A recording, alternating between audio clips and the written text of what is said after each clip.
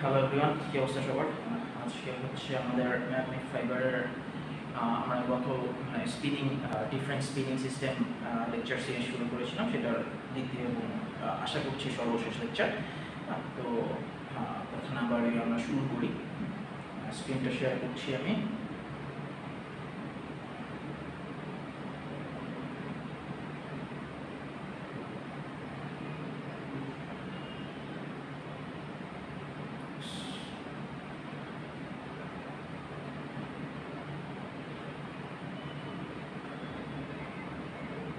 ওকে, আশা দেখা সব কিছু আচ্ছা আমরা ছিলাম হচ্ছে different spinning process for magnet fibres আমরা কিন্তু হচ্ছে আহ, বিভিন্ন স্পিনিং প্রসেসের নামগুলো সম্পর্কে জেনেছিলাম। আর হচ্ছে আমরা অলরেডি কিন্তু মানে যখন হচ্ছে রিজেনারেট ফাইবার পড়েছিলাম, তাই না? রিজেনারেট ফাইবার অর্থাৎ হচ্ছে ফিসকস কীভাবে আসলে আমরা জেনারেট করতে পারি হ্যাঁ প্রডিউস করতে পারি, সেটা আমরা দেখেছিলাম, সেই ম্যানুফ্যাকচারিং প্রসেসটা আমরা দেখেছিলাম।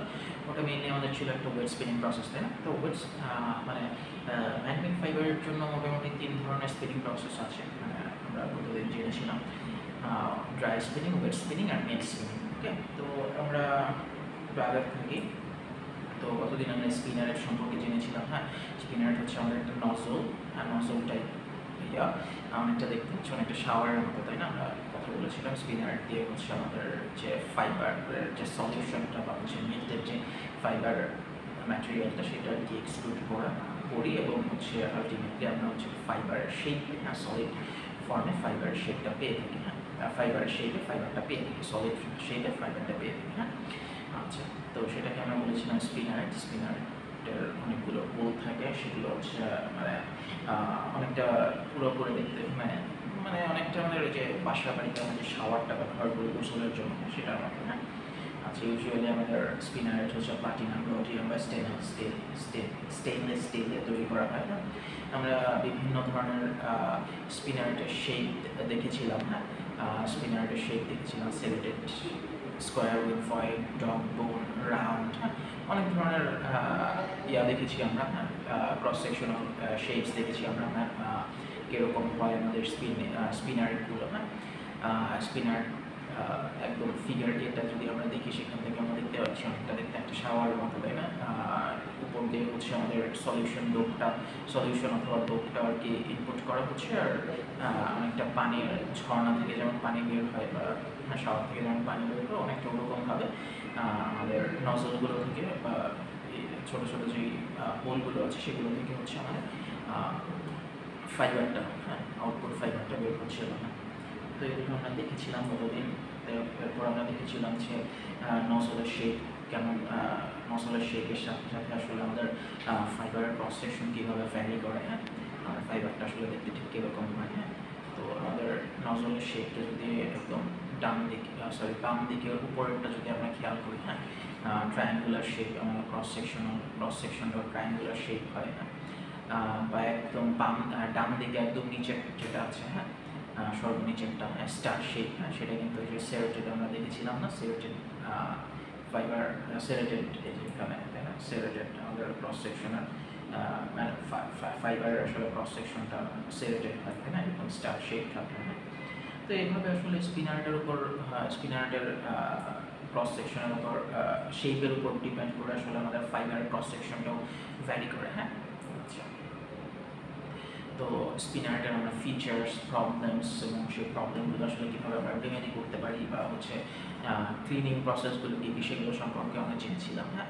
তো আমাদের স্পিনারের হোল ইউজুয়ালি হচ্ছে মানে শুরুর দিকে হচ্ছে একটু ওয়াইডার থাকে আর শেষ দিকটাতে একটু একটু চিকন থাকে হ্যাঁ? মানে শুরুর যে শেষ দিকটাতে একটু চিকন থাকে হ্যাঁ? আচ্ছা তো আমাদের বিভিন্ন ধরনের হলো ফাইবার বা বাইকম্পোনেন্ট ফাইবার সম্পর্কে আমরা এর আগে হয়তো পড়েছিলাম হ্যাঁ? তো ওগুলো হলো একটু স্পেশাল ফাইবার তাই না? তো স্পেশাল ফাইবারগুলো তৈরি করার জন্য আমাদের স্পিনারগুলো আসলে একটু স্পেশাল হতে হয়। হ্যাঁ এরপরে আমরা জেনেছিলাম যে মানে স্পিনার কিন্তু ক্লগ হয়ে যেতে পারে বা হচ্ছে ব্রেক করতে পারে হ্যাঁ। তো ক্লগ হলে ক্লগ মানে কি? মানে হচ্ছে জমে জমে জমে জমে, ময়লা জমে জমে যেমন বন্ধ হয়ে যায় না তেমনি আর কি এই স্পিনিং সলিউশন বলেন বা মেল্টেড মেলটেড ইয়াটা বলেন মেলটেড ফাইবার সরি ইয়াটা বলেন হ্যাঁ সেগুলো জমে জমে হচ্ছে আমাদের ক্লক করে হ্যাঁ। মানে ফুটোগুলো বা ছিদ্রগুলো আসলে বন্ধ হয়ে যায় হ্যাঁ। এছাড়াও মাঝে মধ্যে আসলে স্পিনারটা ব্রেকও করতে পারে হাই টেম্পারেচার বা প্রেশারের কারণে হ্যাঁ? তো এগুলোর জন্য আমরা রেমেডিও দেখেছিলাম যে স্পিনার যদি ব্রেক করে তাহলে সেটাকে আসলে চেঞ্জ করে ফেলতে হয় সেটা আসলে আর কিছু করার নাই। আর ক্লগিংয়ের জন্য হচ্ছে স্পিনার চেঞ্জও করা হয় অনেক বেশি। ক্লগ হয়ে গেল অথবা হচ্ছে ক্লিন ক্লিনিং প্রসেস দিয়ে ক্লিনিং প্রসেসের মাধ্যমে আসলে জিনিসটাকে আমরা ক্লিন করে থাকি। ক্লিনিং প্রসেস আমরা জেনেছিলাম মোটামুটি চার ধরনের salt bath method oven burn up method solvent cleaning method vacuum cleaner method তো এগুলো সম্পর্কে আসলে এখন বিস্তারিত আর বলছি না, কারণ গত লেকচারে আমরা এটা সম্পর্কে মোটামুটি বিস্তারিত জেনেছি হ্যাঁ। তো গত দিনের যে লেকচারটা ছিল, ওটা অবশ্যই ভিডিওটা আমার দেখে নিতে পারেন। আর লেকচার যারা মানে ইন পার্সন করেছেন তারা তো অলরেডি জানেনই সব কিছু আচ্ছা। তো আমরা মোটামুটি শেষ করেছিলাম, গত ক্লাস লেকচার মোটামুটি এখানে শেষ করেছিলাম। পরবর্তীতে আসলে ইলেকট্রিসিটি চলে যাওয়ার পরবর্তীতে ক্লাসটা বেশি লম্বা করতে পারিনি হ্যাঁ? তো আমাদের মানে ম্যানমেড ফাইবার প্রোডাকশনের জন্য আমাদের যে ইয়াগুলো, কী বলে ম্যানমেড ফাইবার প্রোডাকশনের যে ফ্লো চার্ট ফ্লো চার্টটা সেটা কিন্তু মোটামুটি এরকম। মানে সবসময় যে মানে সবগুলো স্টেজে মানে একদম থাকবে বিষয়টা ঠিক সেরকমও না, তবে মোটামুটি এগুলো মানে এই স্টেজগুলো আসলে পার করেই আমাদের একটা ম্যানমেড ফাইবার তৈরি হয় হ্যাঁ। তো প্রথমে হচ্ছে আমাদের যে মানে ফাইবার ফলমিং পলিমারটা সেটাকে ম্যানুফ্যাকচার করতে হয় হ্যাঁ। আমরা জানি যে ম্যানমেড ফাইবারগুলো আসলে একটা পলিমার হ্যাঁ বিশাল বিশাল পলিমার হ্যাঁ। অনেকগুলো পলিমার চেইন মিলে আসলে আমাদের হচ্ছে ম্যানমেড ফাইবারগুলো গঠন গঠন করা হয় না। তো সেই ফাইবার তৈরির জন্য ফাইবার ফর্ম করার জন্য আমাদের যে পলিমারগুলো দরকার, সেগুলো ফার্স্টে ম্যানুফ্যাকচার করতে হয় হ্যাঁ? দেন হচ্ছে স্পিনিং করি, যে মানে যে ফাইবার পলিমারটা পেলাম ফাইবার ফর্মিং পলিমারগুলো পেলাম, সেগুলোকে আসলে স্পিনিংয়ের মাধ্যমে আসলে আমরা স্পিনারটার মধ্য দিয়ে চালনা করে আসলে আমরা ফাইবারটা পেয়ে হ্যাঁ?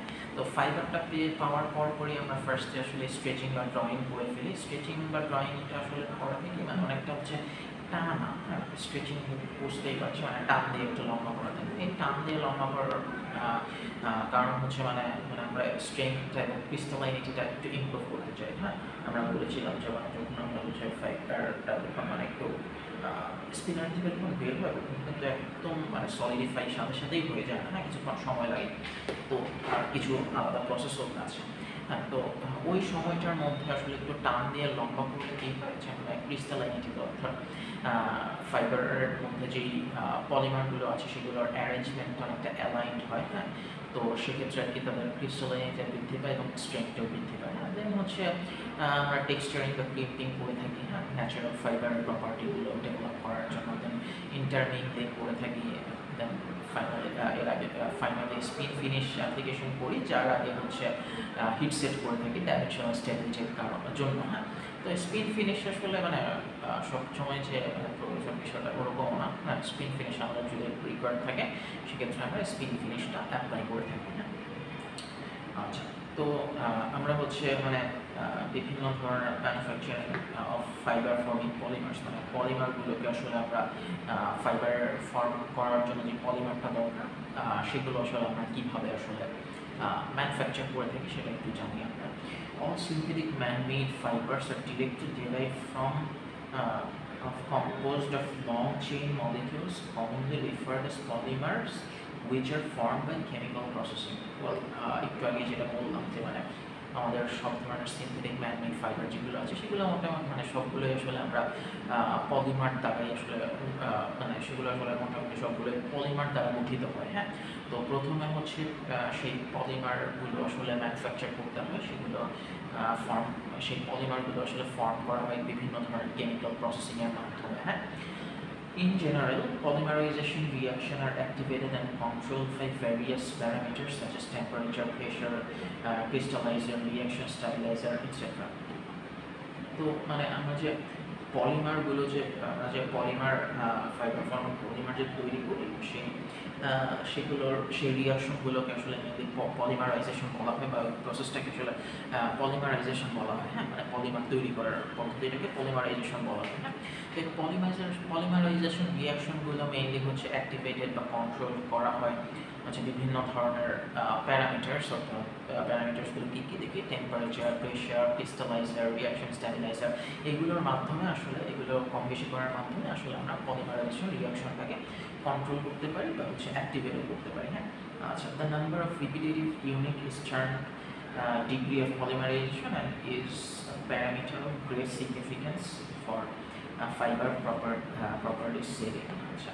মানে যে রিপিটেটিভ ইউনিটগুলো থাকে হ্যাঁ যেগুলোকে আসলে আমরা মনোমার নামে চিনে থাকি হ্যাঁ সেটাকে আসলে আমরা ডিগ্রি অফ পলিমারাইজেশন হিসাবে আসলে প্রকাশ করতে পারি যে কতগুলো আসলে আমার রিপিটেটিভ ইউনিট আছে হ্যাঁ এবং সেটার উপর ডিপেন্ড করে কিন্তু আমাদের বিভিন্ন ফাইবারের যে প্রপার্টিসগুলো আছে হ্যাঁ সেগুলো কিন্তু কম বেশি হতে পারে হ্যাঁ স্ট্রেংথ কমতে পারে, বাড়তে পারে। এগুলো কিন্তু ডিপেন্ড করে হচ্ছে কতগুলো ডিগ্রি অফ পলিমারাইজেশনটা কত বা কতগুলো রিপিটেড ইউনিট আমার আছে হ্যাঁ।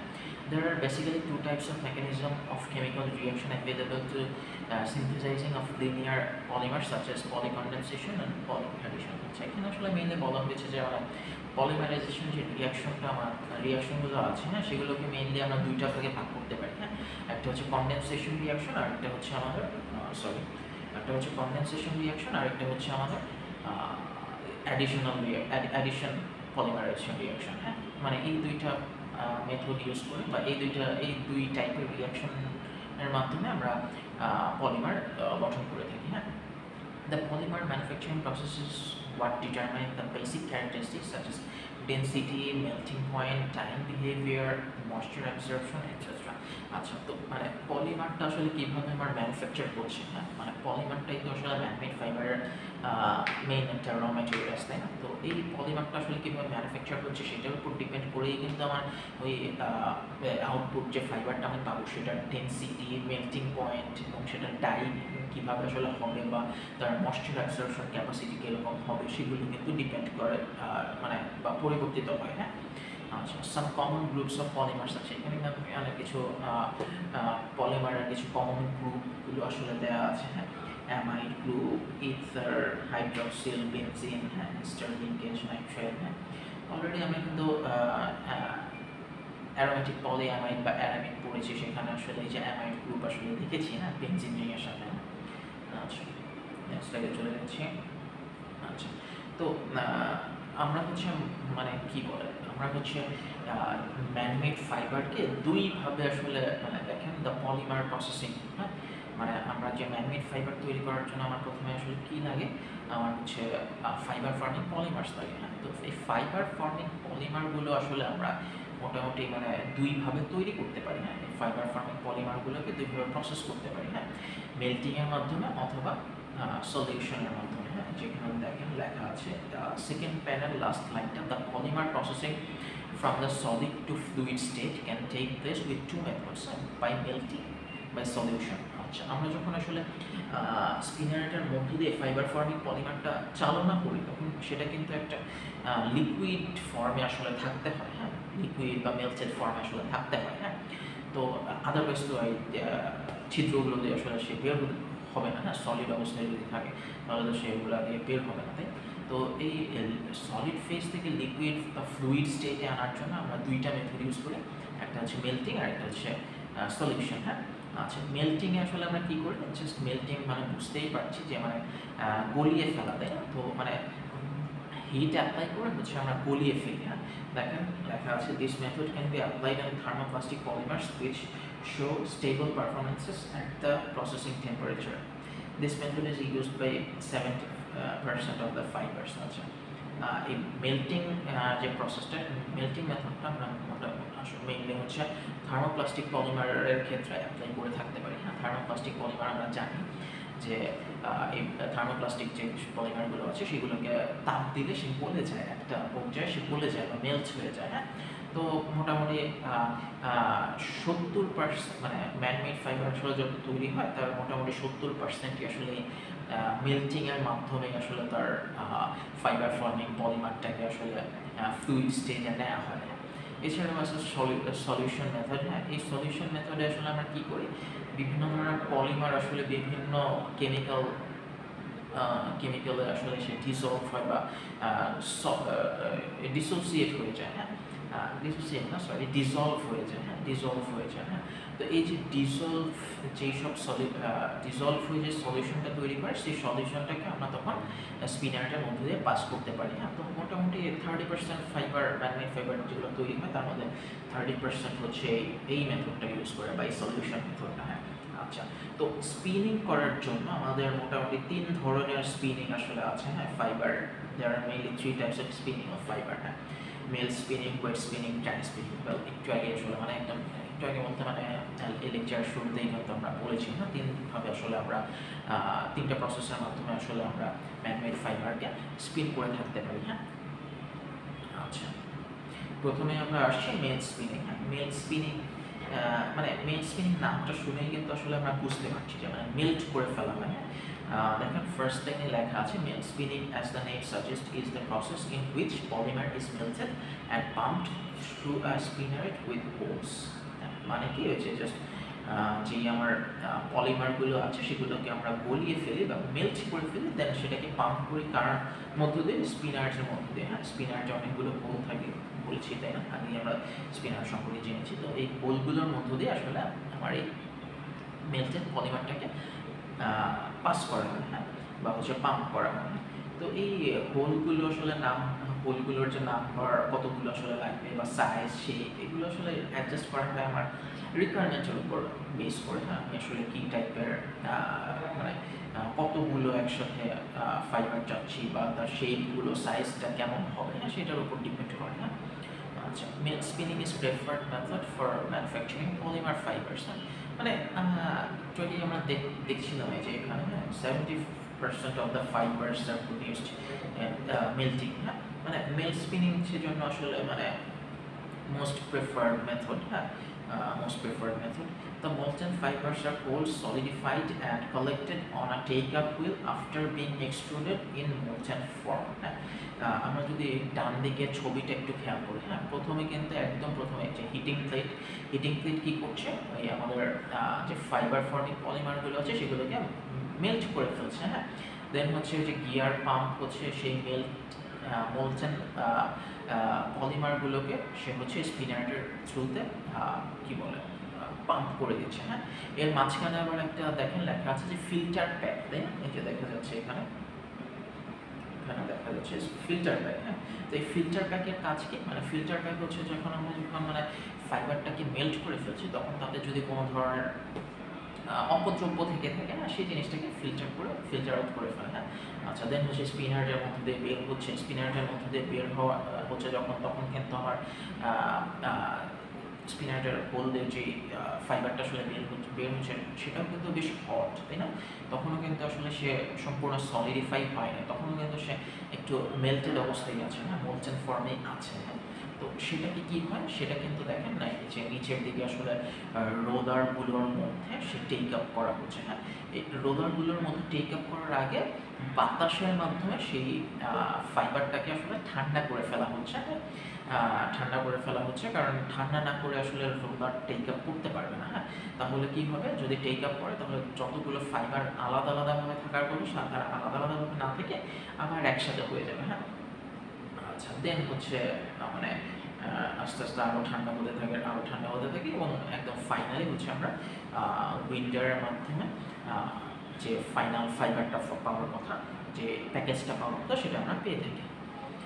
সেটাই আর কি এই থার্ড প্যারাতে লেখা আছে the molten fibres are cool solidified and collected on take up wheel after being excluded in molten ফর্মে যেটা বললাম হ্যাঁ? রোলার দ্বারা টেক আপ হওয়ার আগে ফাইবার মোলচেন ফাইবারটাকে কুল করা হয়, যেন তারা সলিডিফাইড হয় হ্যাঁ আচ্ছা Stretching of fiber in both molted and solid state gives orientation of polymer chain along fiber axis. আচ্ছা আমরা একটু আগে যখন ম্যানুফ্যাকচারিং প্রসেসটা দেখছিলাম, একটা আই একটা man made fibre ideal manufacturing process যখন দেখছিলাম, তখন আমরা দেখেছিলাম, তাই না, যে আমি স্লাইডে যদি চাই এই যে স্পিনিংয়ের পরে থার্ড যে পয়েন্টটা স্ট্রেচিং বা ড্রয়িং হ্যাঁ স্ট্রেচিং বা ড্রয়িং সেটার কথাই এখানে বলা আছে। স্ট্রেচিং করা হয় কেন? যেন ফাইবারটা ফাইবারটা আরেকটু বেশি